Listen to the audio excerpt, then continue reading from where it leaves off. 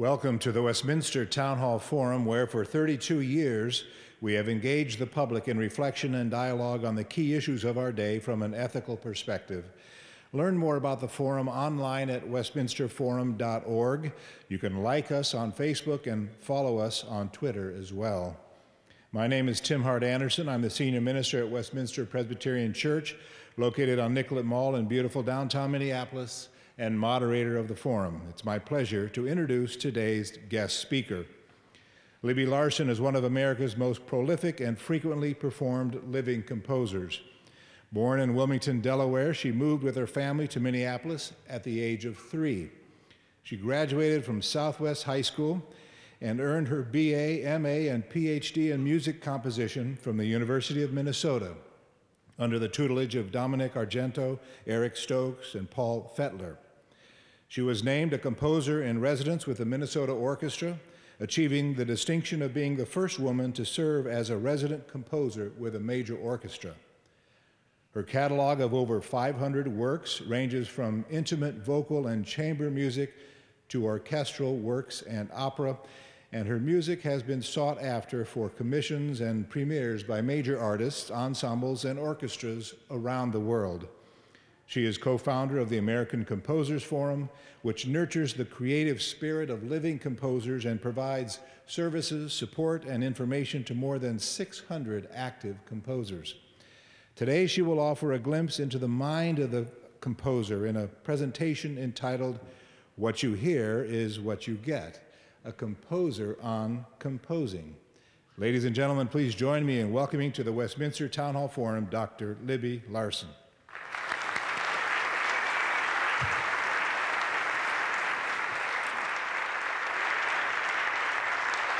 Thank you. Thank you.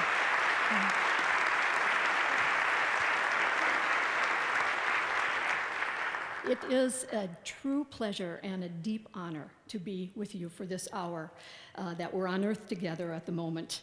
Um, I'd like to thank the Westminster Town Hall Forum for the invitation to speak with you today. Uh, and also the Leagueaires of the Junior League of Minneapolis for the sponsorship of this talk. It's really most gracious and most appreciated.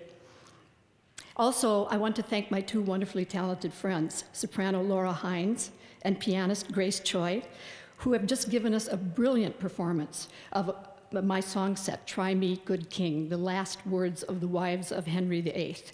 Brilliant, and I thank you so much.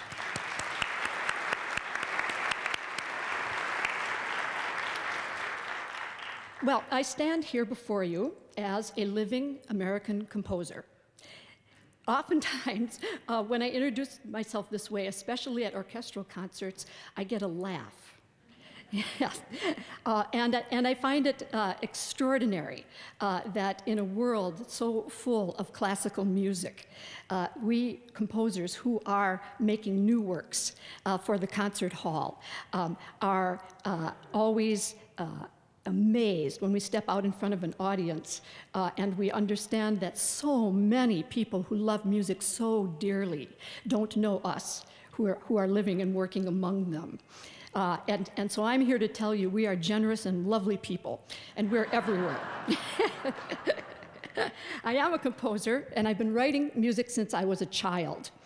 Since the 1970s, I've been working professionally uh, with orchestras and opera companies and choruses and choral societies and soloists and chamber musicians and recording companies and publishing companies and all manner of nonprofit organizations who are involved with music in this country. It is a wide and strong network of uh, people who absolutely love music and are so very curious about where does it come from?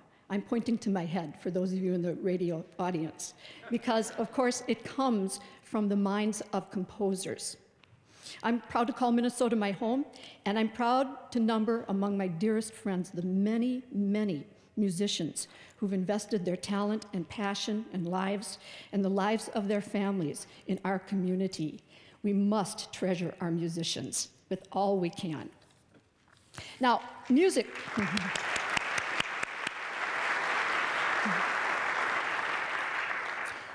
Music is a mediated art form, as are plays, as are so many art forms, but music in particular is mediated because, of course, if someone comes to me and says, We'd like you to write us a string quartet, and will you give it to us in two years?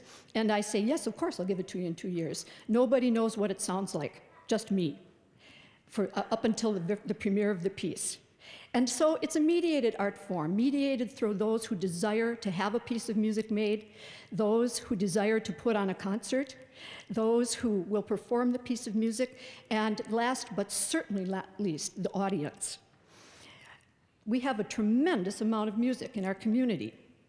But I write so much music that I travel extensively all over the country and now uh, quite a bit in Europe and a little bit in Asia uh, lately. Um, in fact, after the talk today, I'm headed down to uh, Baylor University in Texas for the premiere of a work on Saturday evening, and then after that for a week uh, at DePauw University in Indiana for a festival of my music week long. So I travel and I, oh, oh thank you. Um, that wasn't an ad, it was my segue to my next uh, point. um, that um, uh, wherever I go, I am met by gregarious and curious and engaged people who want to know about composing music, really want to know about it. It seems mysterious, and it is mysterious because it takes place in the brain. And we can't really say to you, here's what happens. I think of a B flat. And then after the B flat, I think of a C. It's not the way it happens, at least for me. If I am thinking about a piece of music, it arrives full blown in my head. It's just there. And then the work that I do is bringing the piece from inside my head out in a way that you can understand, uh, uh, uh, that I'm trying to communicate with you. Um, and so I have wonderful conversations with people everywhere I go. Great conversations. Here's a good one. Had a conversation with a lawyer. My life is full of lawyers because my husband Jim is an attorney. Uh, and so I love to go to lawyer parties and see if I can get them to understand music. Great conversation with a really fine litigator. We were talking about musical form. And so I said to him, You know, if you studied musical form, you could probably present closing arguments in a different way. There's a form called the rondo form. And that is a form that, that, where a piece of music is presented, and then you take an excursion away from it, then you come back and you present the same bit of music, and you can do that forever, ad infinitum. Uh, uh, and, um, and the lawyer said, That's a really interesting idea, and by George, he tried it, and it worked. well, wherever I go, people ask questions, all kinds of questions. So I thought what we would do is spend some time uh, digging into some of these questions. It might illum illuminate you a bit as to how we think, we composers. I get a lot of letters from children, lots of them. I brought one along. This one is from Kevin Rene Blanquis. Dear Miss Larsen, how are you? I'm fine. Have you written any new compositions? I've always wondering, is music life for you? This summer, I'm going to Minnesota, so maybe I could visit See you later, Kevin Renee Blackies. well, I wrote him back and I said, yes, as a matter of fact, music is life for me. It actually is. All of my life goes into the music that I write. Not as a biography, but simply by the fact that I'm alive right now. And we'll talk a little bit more about that in, in a moment. Another question from kids that comes up all the time What is your favorite piece you wrote so far? And I'm delighted to tell them the one that I'm working on right now. right now, because it's so engaging, so activating, so exciting. And you can see their eyes light up. Because what I'm telling them is that the process of engaging your brain and your passion is always the best moment of your creative life. Always. Here's another one they all ask Do you have a dog? Yes, I have a dog. His name is Bosley at the moment, but the most famous of our dogs is Dave the singing dog, who, when I would play C sharp on the piano, he would just break into operatic singing and howling, which is caught on tape and shown in schools quite often. I get questions from older students, meaning everyone from sixth grade to 96. Here's one What is music?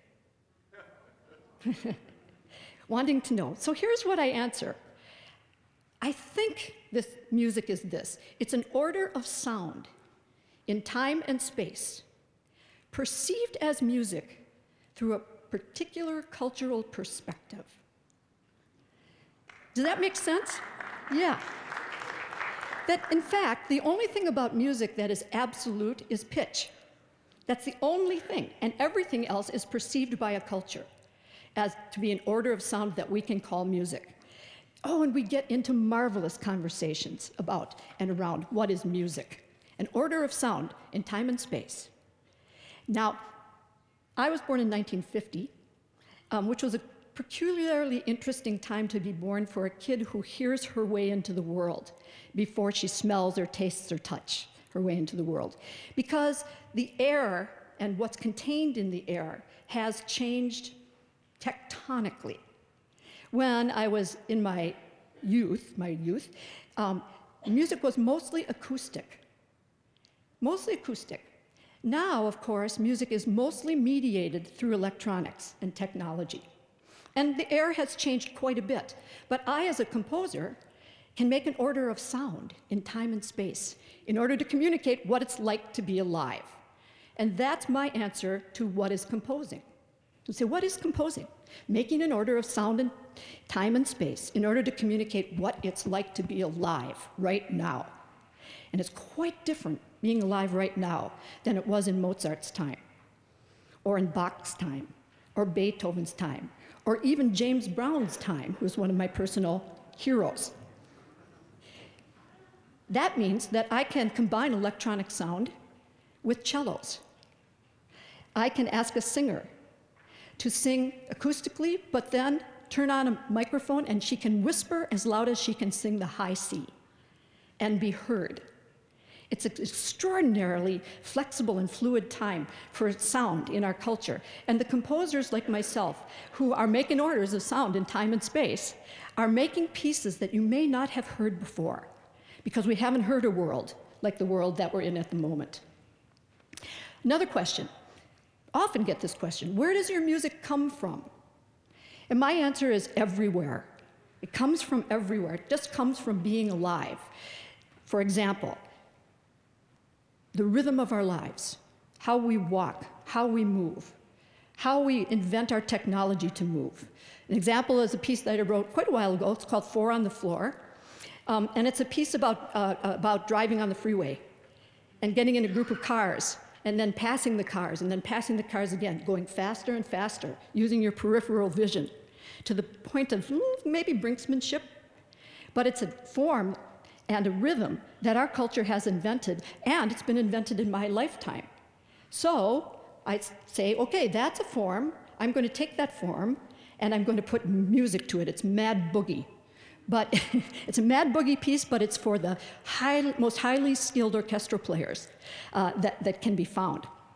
So it comes from rhythms of our lives, comes from the language we speak. I take a lot of rhythmic dictation.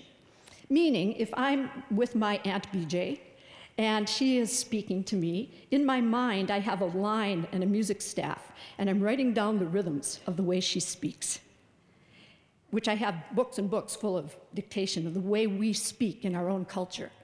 Feeling that perhaps if I take the rhythms of the way we speak and I incorporate them into a piece of abstract music, that you may be able to connect with that music, you don't know why. It just feels right, just sounds right, comes from the languages we speak, comes from the natural world ideas, from our lakes in Minnesota, from the snow that we know so much about. All of these things are tempo and texture and energy. Water music, the symphony I wrote, which is just about being on Minnesota lakes. That's all it is. But oh, does it have variety? Another piece, Downwind of Roses in Maine. What it's like to stand near a rose hedge in Maine with a bus going by fuming away while, while the delicate fragrance of roses breaks through. Our natural world, an inspiration. The energy of our times is, is an inspiration. Wrote a piece called Collage Boogie. It's a mad boogie piece for full orchestra, 110 piece orchestra. Uh, and, and it's a collage, and it's four minutes long, and it's urban life. That's what it is urban life.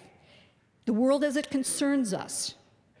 pieces about who we are as human beings and how we're trying to relate to each other. A big piece I composed for the VocalEssence music series, then the Plymouth music series, called Coming Forth into Day, which was a study of tolerance, cultural tolerance, written in 1985 at a time when I really thought that peace in the Mideast was possible. We invent forms to carry our daily lives. Another piece I wrote, Holy Roller. It's played a lot. It's for saxophone and piano. And what I did was I, I listened to evangelical preachers, and then I take down their rhythmic dictation, uh, and then I made a piece that is an evangelical preacher's sermon for saxophone and piano. so, here's a, here's a question that I particularly love. Why do my teeth hurt when I hear modern music? this was asked uh, at, at, a concert in a question answer uh, uh, session, and, and I, I, thought, how can I answer that question? Why do my teeth hurt when I hear modern music? And the only thing I could think to say is because you've probably been hearing a certain kind of music. No, for most of your lifetime, and probably your neurological system has developed in such a way um, that when you hear mm, sounds that don't quite track in that system, that it connects somehow to the nerves in your teeth. and here's another one. There are only 12 notes. Hasn't anything, everything been done with them already? I mean, That's always a great deal of fun. There are only 12 notes. And of course, the, the answer is not by a long shot.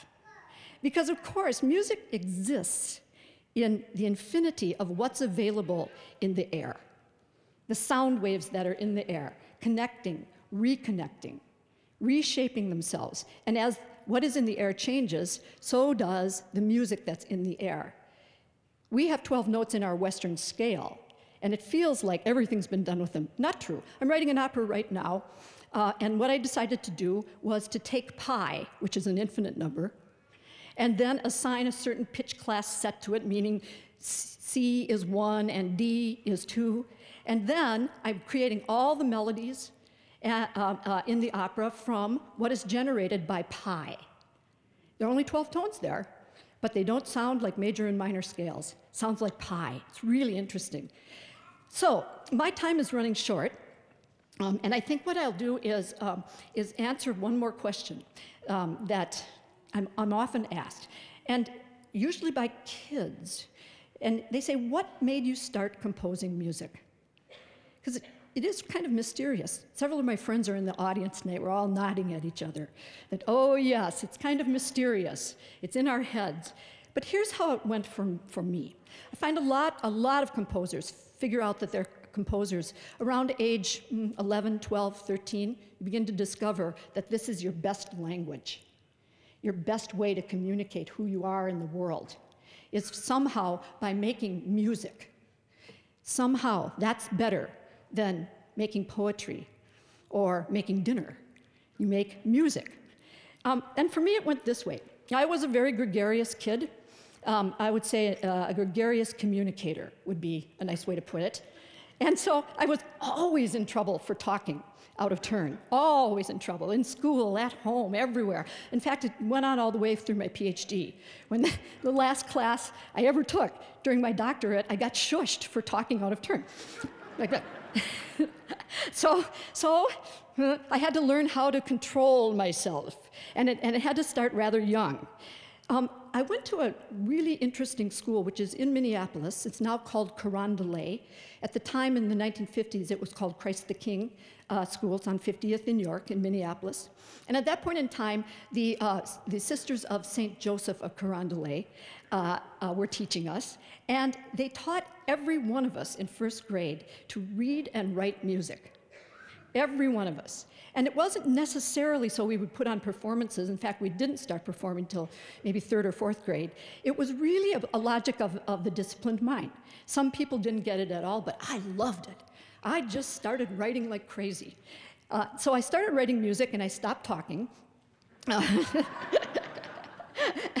and, uh, and by the time I got to sixth grade, we were studying uh, the new math. And, um, and that was con- continuous set theory, which I just ate up. I just loved the new math, and I got all involved with it. And then it hit me. It hit me like a meteor that if we could have set whose members are, that set could be pitch, harmony, rhythm, melody, any of the elements of music I could put into my own set. And that would make my own piece of music. And that is exactly what it is, composing is you know all the elements and you put them together and you compose and you hope, you hope that what you have said communicates what it's like for you, the composer, to, to be alive. All I can tell you is that it has been the most extraordinary life so far. I don't know how long I'll be here, uh, but I do know I'll keep, I'll keep musicking first, uh, even if it gets me into trouble for speaking out of turn. Uh, and um, uh, and so I want to say thank you uh, for, for listening, and I hope you have questions because I try so hard to illuminate what is, what is in the head of a person who, who hears their way into the world uh, and, and wants to bring to you uh, a representation of what it is for them uh, uh, by giving you a, a piece of music. It's a great sharing of the abstract, essential human emotions, the abstract ones that make us tick as human beings and relate us all to each other. So um, uh, fire away with your questions, and thank you so very much for allowing me to speak with you.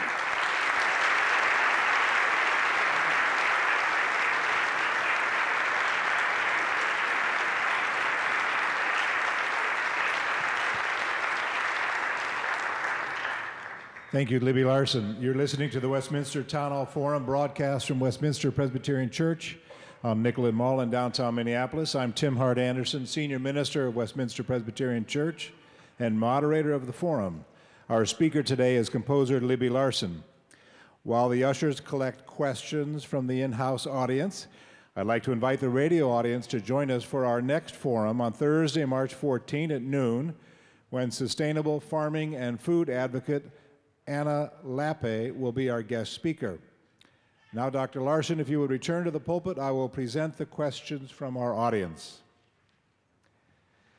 You have been a trailblazer in many ways in uh, composing in America, and particularly in the role of women. Could you comment on the influence of women in classical music? How has the female voice or mind shaped this genre? Very fine question and one which actually spans about 900 years worth of history, which has only begun to be uncovered in the last 50 years of uh, scholarly research. Uh, to look for and to find uh, music that is composed by brains who live in female bodies. Uh, uh, classical music mm, is somewhat of a marketed uh, idea.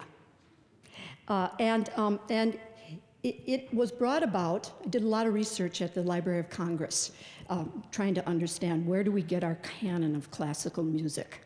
Um, and, and we get it from the Victor Red Seal record box that was sent out with gramophones in 1910. And in that box are many wonderful examples of, of music written, classical music, some ethnic musics, what have you.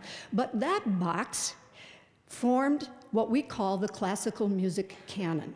And that box contained no music by women. Um, out between 1910 and today, uh, the, uh, the classical world has grown to include an education system, uh, a recording system, an orchestral system, uh, and um, if you study the repertoire, it's the Red Seal Box of Records.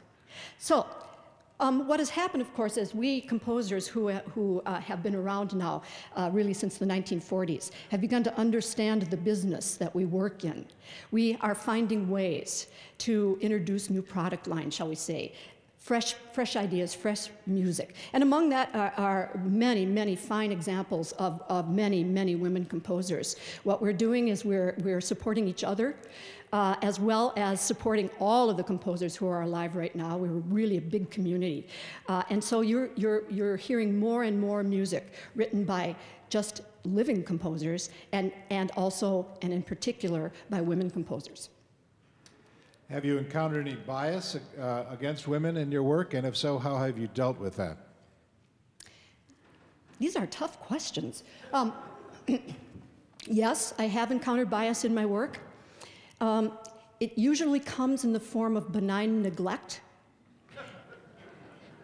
Uh, uh, and, um, and, and I'm jo- very joyfully uh, try, to, uh, uh, try to change the idea that, um, uh, that, that we just, women aren't there. I've heard conductors say, well, there isn't any really good music to program by women. I've heard that to my face. Uh, and, um, and so it takes a great deal of knowledge and graciousness and a good sense of humor to say, oh, well, here, and I pull out a laundry list of 20 pieces and say, you might want to look at these. You know, and just to try every place where the benign neglect exists to, um, to uh, shed, a bit, uh, shed some light and just say, no, you know, the, the, the fact is that there are many of us who are working and it's really fine music. You mentioned our arbitrary 12 tone Western scale. This is from a Southwest student, and as you know, Southwest students, being an alum yourself, yes. you, you, you know how sharp they are. Uh, yes. What ability do we have to appreciate Eastern music or, or music outside 12 tone Western scale? That's a, an excellent question. Um, we have ears. And one of the things I love about portable sound is that our ears become democratic. So we can, we can put our ears on any music that we can put on our iPod today. In my day, it was the transistor radio. But, um, uh, and so it allows us, those of us who hear our way into the world and really are interested in why this note goes with this note, to hear scales from other cultures and to say, wow, that's so different than the 12 notes that I was given in third grade to, to compose music with. I'm going to look into that. And what's happening, of course, is that more and more students of more and more different kinds of scales of whatever age are asking each other about the music, seeking out masters you know, of music that is, that is not necessarily Western music, and learning about that music. Uh, and it's enriching the world of music just phenomenally. It's a very exciting world, the world of scales and the way cultures perceive themselves through inventing a musical scale. You described uh, composing as an act of the mind. Uh, many artists speak of their art form as a result of their passions. Uh, can you describe how passion in your life enters into your composing? every day in every way. Uh, uh, if you know me, you know that I will blurt things out from time to time. Uh, and oftentimes, um, uh, uh, it's because I have a very curious mind. Uh, and, um, and I'm very passionate about something that, that takes my mind up. Uh, and so, um, what I've learned to do is to just, just run with my passions uh, and then gain enough technical tools and rigor to translate that passion into something that can live beyond my own passion for it. Also quite physical. I run around the house, uh, flinging my arms about and doing opera calls and all kinds of things, just, just to activate the music. This may be a related question from a Southwest student. You use the phrase mad boogie. Uh, what does that term mean? Oh, well, my mother loved and still loves stride boogie piano. Uh, and so um, we often would have recordings from her collection uh, uh, on the record player uh, while we were doing dishes. Uh, and, um, and so I would listen, of course, and then I would go to the piano and I would pick out the notes and, and play classical boogie. But then, uh, as time has gone on and I've gained other skills and, uh, and techniques as a composer and other uh, encounters with other kinds of music, Elton John, for instance, um, I, I think of boogie as a way of life.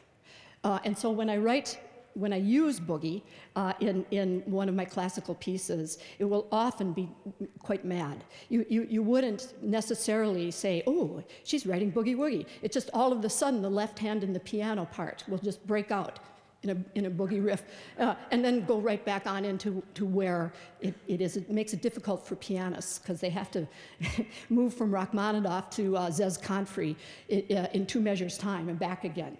So it's the madness of how it happens. You mentioned in your talk uh, James Brown as one of your heroes, and in our conversation before the forum, you also threw in Little Richard. Uh, can, can you describe for us the influence on your work as a composer from musicians such as that, uh, uh, rock, funk, jazz, even metal? Yeah, I, uh, yeah, I'd be happy to.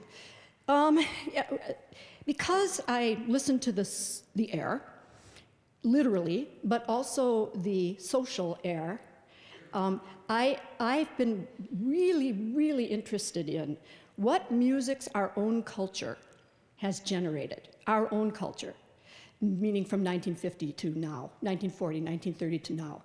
Uh, and um, luckily, I come from a family that, that has a diverse interest in music. So, Buddy Guy, uh, lots of music, of, of lots of areas that weren't considered classical. In fact, when I started my matriculation in college, I didn't have a very good classical repertoire. My repertoire really was uh, uh, boogie and rock and, and, uh, and the current boy bands like Ricky Nelson, things like that. Um, anyway, uh, so, but as time has gone on, and I've, I've been looking for where does music come from in our culture, I, I I tend to think that it comes from places that are not taught in school, in the academy. Uh, and so I, I analyze every kind of music I can. And James Brown is my hero. He's one of my heroes, as is Chuck Berry, as is Little Richard. But here's why James Brown. We were talking about this. You know, in music, you go one, two, three, four. And in Western music, I'm, I'm, conducting as I'm saying this, and in Western music, what happens is we're an ensemble, and I get you ready to come in on one by going, boom, and we come in together and come in. So we hit it precisely, as precisely as we can, on the down, on one, the, what we call the downbeat. Well, James Brown redefined one. It's astounding. He redefined one. So you don't go and a one with James Brown.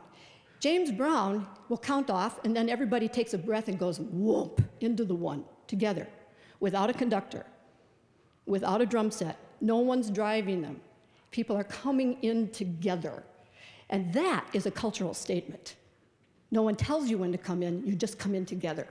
So I studied James Brown and I studied musicians who know how to move together and uh, and it comes into my music and it drives classical musicians crazy. what is the role of improvisation in composition for you? This is from a music teacher at Southwest. Oh, thank you, Southwest. Always was a great school. Um, uh, I improvise quite a bit, as a matter of fact. Um, at the start of my composing sessions, uh, uh, um, I, I, go to the piano. I write at the piano, but not on the piano. Uh, I just lay across the piano bench and, and, write things down. But to begin the, the session, I, I improvise at the piano. And I, it might go on for five, ten minutes, and I just kind of listen and think, not necessarily to use what is coming from the improvisation, but to free up my brain, to move really fast so that I can, as I'm improvising, I can hear the music that I'm making, and I can call upon my best critic, which you, uh, uh, you, you, really need a good critic, good constructive critic with you as you're, as you're working. And that critic will say, that's bad, don't do that, that's good. You know, and, it, and it hones the, uh, my ear and my skills um, so that then when I just lay down on the bench and start writing, you know, I'm really ready to go. I haven't put a lot of roadblocks uh, in, in the way um, of my thought process. Do composers work together in that sense, critique one another's work and learn from one another, or is it a competitive marketplace? Yes, and yes. Um, the, um, I admire writing groups well, where writers will bring what they're working on and read to each other uh, and, um, uh, and critique their work. Also, painting groups. Composers don't necessarily group around pieces that are being written right at the time they're being written. What we do do is we play our music for each other uh, uh, quite a bit, uh, and, we, and we then very kind of gingerly say, hmm, sounds a little long here. It, there's, re, there's really not an editing system um, at work in the composition system the, the way there is in um, writing words. So um, we support each other uh, and, uh, and we listen to each other's work. The second part of the question is is it a competitive world? Uh, yes and no. Um, it certainly isn't competitive to just write music. But because the, the music concert system um, exists the way it does in our country, uh, it's very hard for composers to be heard on the existing system. So what we do is we get together and we do concerts of our own music. Uh, house concerts, concerts here, concerts there. We just did one last night, uh, and so we can be so we can be heard. So we support each other in lots of ways. A number of questions from uh, young composers trying to start out in the business who are in our audience today. Can you say something about entrepreneurship and, and uh, composer in composing? Is, is this a sustainable career? How difficult is it to begin as a composer and make a living from it? It's a difficult uh, road to, to walk, um, and one well worth walking. Um, it, composing is really, for me, it's not a career, it's a profession that's made up of lots of careers, lots of skills. Uh, putting concerts together, uh, trying my hand at record production, uh, uh, just uh, all the business skills that you need to have uh, to negotiate contracts, to, to promote your work, to archive your work. All the, th all the products of, um, that you produce as a composer, you need to actually know quite a bit about everything around those products. Now, for a young composer, that really seems daunting but a profession is a life's work. So you don't, you don't actually arrive at a career point. Uh, as a composer. You just work on pieces, piece after piece after piece, and, um, and, and you gather around you um, a group of friends and performers who love your music and want to perform your music. And the way to build a, to build a profession as a composer is to befriend performers you want to work with and be loyal to them uh, and, um, and every friend you make as a composer, because they have to believe in what you hear but nobody else hears. So it's a matter of loyalty and trust. Uh, uh, uh, the, the more you can gather people around you who really are honest with you and like the music you write. You don't have to love it, but at least be engaged with it. The more your, your profession grows uh, and, uh, and you understand that you're part of a multi generational uh, flow of music. Yeah. You began composing in the pre digital age, and we are in the digital age now. How has that affected you in terms of use of software, or do you compose electronically? How do you see the changing uh, impact on composing uh, with the age of uh, digital music? Well, I wish we had four hours to, to talk about this one. Um, uh, in my lifetime, um, I, have spanned um, being taught the, the ancient calligraphy of uh, writing music down on the page. That was the one that was invented in the monasteries. Uh, and is taught to composers uh, uh, really up until we had our first software programs, uh, notational software programs. Um, so I, am much, much faster than a computer uh, uh, writing my music down because a computer is very limited in, in what it can do for you as a notational um, instrument. So I just put a 40 stave piece of paper on the, on the bench and then I just fill everything in. No, all the notes, everything, uh, in, whether it's loud or soft, all of this staccato marks, it just goes blum, blum, blum, blum, blum down on the page. Whereas computers make you go and pick things out. First, you put in the notes, then you put in the dynamics, then you put in the articulation marks, and it's very slow. Um, although it seems efficient, it's, it is not. Uh, and, um, and so, as technology has presented us with the possibility of notation by computer as the first approach to the page, um, I, I have uh, maintained what I do and also work with a number of students, private students, um, who I teach to write by hand. Uh, be, because the process of the decision-making process is so very different when you when you write by hand. Uh, and so um, we're in the covered wagon stages of technology uh, as it relates to music. Um, what I fear is that we are so in love with the technology uh, that we throw the baby out with the bathwater. I'm worried about cursive writing for the same reason.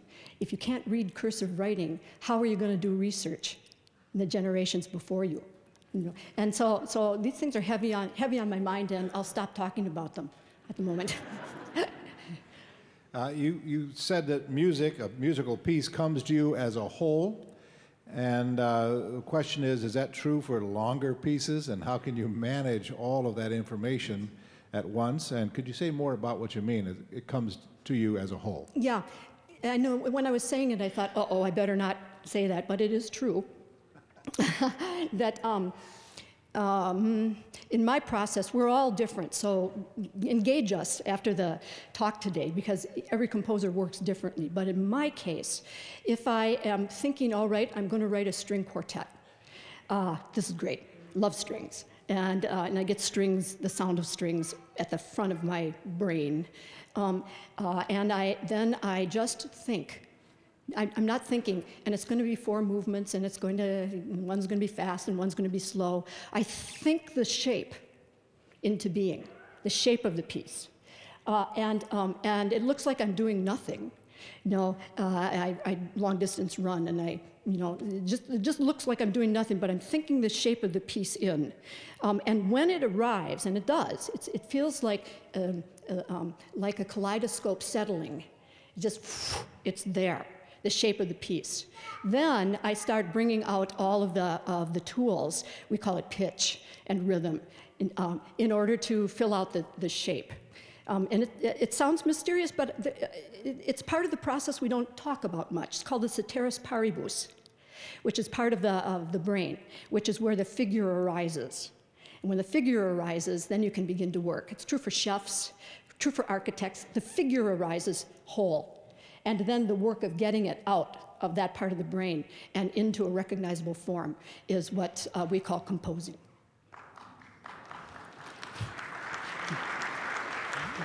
There, are a number, number of questions related to uh, expanding the constituency of classical music, if you will, and uh, what are the prospects of doing that among young people today who've grown up in, in a genre of music that in many ways is quite different from classical? Corollary question has come in too. I've, I have a hard time enjoying new music, someone says. I'm stuck on the old classics. What can I do? So, two ends of the spectrum there. And both of them quite wonderful to consider. Um, I'm stuck on old music too. Um, but what I'm stuck on um, is I love acoustic sound. So I, I, so I have a hard time listening to, to techno music because I, my brain uh, is wired for acoustic sound. Uh, and um, uh, this is to say to those of you who say, it's another question I get. It never comes in the form of a question, but often after a classical concert where I'm the only piece on the concert that is from even 200 years after everything else. Um, um, someone will come up and, and um, always very eager to shake a hand, and we'll shake hands, and they'll say, Your piece was was interesting. and, that happens with my sermons a lot, yeah. yeah, yeah, you know, and, and so I always, I've learned to, to, uh, to, to ask a question in response and say, oh, what did, you know, not did you like it, didn't you like it, because that doesn't matter. What matters is what did you hear in it. And, um, and quite often the, the, the person will say, you know, I just can't listen to anything past Beethoven. And I understand that. No, because that's a certain kind of conditioned listening. Uh, uh, and I'll say, well, that's curious because I can't read any books since Charles Dickens. no, I don't say that. I, I don't say that. But, but, but, but what we do engage in is a discussion of what is melody, you know, and what is the ability to tap your toe you know, and what notes do you like with each other? And we just sort of do a therapy session on, on, um, on um, how to listen to, to music. And then if I get somewhere, I'll say, you know, I can understand why you wouldn't connect to my piece, because here's how I use melody. No. And here's how, and you know, and it, it's quite like, actually, I was on a subway in New York and I heard this clicking and clacking, you know, and that became the, the rhythm. And it's not in 4 4. And so I understand, totally understand. It's a question of stretching the ears to listen to the four basic elements of music, always with a new perspective. And those four basic melody uh, uh, uh, elements of music are very simple. How does a composer use pitch? How does the composer use motion? How does the composer use shape? And what is the emotional connection with the piece? In that way, you can think about uh, uh, rap uh, and Brahms in the same concert. And take your ears on a walk in the countryside of sound, you know, and discover what is new and different about the pitch that you heard in rap, which makes the pitch you heard in Brahms new and different. Uh, so, uh, so that's my way of answering both questions at one time. Did I do all right? Very well, yes. Nice, nicely done. Uh, kind of a follow-up. What do you think the classical composers, Bach, Beethoven, Brahms, what were they saying about their lives through their music, and what are you saying about your life through your music? Well, I, I can't answer for Bach and Beethoven and Brahms, but I can guess. You know, um, because they're working with the same elements pitch, motion, shape, and emotion. And um, the fact is, is that um, all of us are human beings. Uh, and so we move in similar ways, and we experience the traffic patterns of our lives in similar ways, and the social mores of our lives in similar ways. Uh, and um, uh, and the energy of the time and what people are wearing. It was so very hard to play a tuba if you were a woman in the late 1800s because of your corset. the wholeness of what it is to be alive is always found in the music of the composers who were living during that time. And so you will find the wholeness of Beethoven's world, not necessarily what he thought about it, but how he reflected it in the way he shaped his music. It, and we tend to think that we're trying to make some sort of uh, sociological statement um, with the pieces that we write. But the fact is, we each listen uniquely. Each person in this room hearing a piece of mine will hear it differently than any other person in the room. So, all we composers can do is to give you as much of the shape and pitch and uh, emotion uh, um, as we possibly can and let you feel the piece the way it sits on you in your particular life on that particular day at that particular moment. Uh, as a person who speaks regularly in public, uh, which I do as a preacher, I'm well aware of the, the value of silence in a sermon, for instance. In fact, last Sunday's sermon from the pulpit where you're standing was on the importance of silence in our world, and then I went on to speak about it for 20 minutes, and I felt guilty about it. but what, what can you say about the relationship between silence and music as a composer? Beautiful question. I was thinking um, as we were waiting for the broadcast to begin, our moment of silence was so noisy, so noisy uh, to, to, my ears. There was some, some click going on. I don't know if it was typing or something, but it was, it was uh, uh, asymmetrical and kind of interesting, and I was taking it down in my brain, going, ooh, that's interesting. Um, um, silence in our world is the rarest of all birds. Uh, and um, eventually, I think we'll get around to understanding how polluted our air is with sound.